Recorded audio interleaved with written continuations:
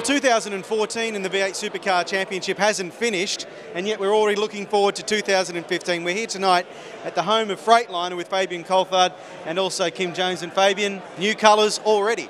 Yeah, look, I'm stoked with it. It's uh, it's come up fantastic. It's you know nice, shiny, awesome to introduce a new partner in V8 Supercars and to Brad Jones Racing. It's uh, it's a credit to everyone back at BJR.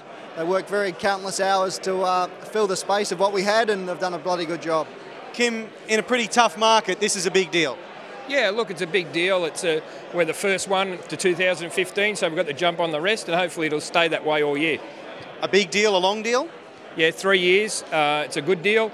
Naming rights, any time that you can sign that. We had one of our part, long-term partners for the last three years leave us, and the opportunity came up. Uh, it was mentioned. We had a short conversation. They went a right way, got the money, and deal was done. What was your feeling when you got told you're going to be more or less uh, promoting a truck? Oh, look, I'm happy with that. You know, it, uh, it's one thing I've, I'll be able to get as my HD license, you know, heavy vehicle license. So I think that's going to be exciting in itself. But, you know, obviously Freightliner is a, it's a reputable brand. Uh, you know, people will know about it. If they don't, they're going to know about it. And uh, let's let, let the freight train roll on in.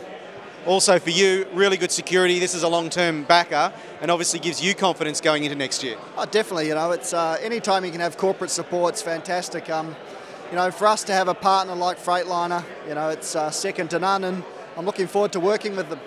And the one thing is, you don't have to wait too long to really race this car. The season finishes next week, but it's only then a couple of months away. Yeah, look, it's going to be here before we know it. So uh, at least we've done all the formalities. You know, we've launched a new car early, so hopefully that'll give me a slightly longer Christmas break.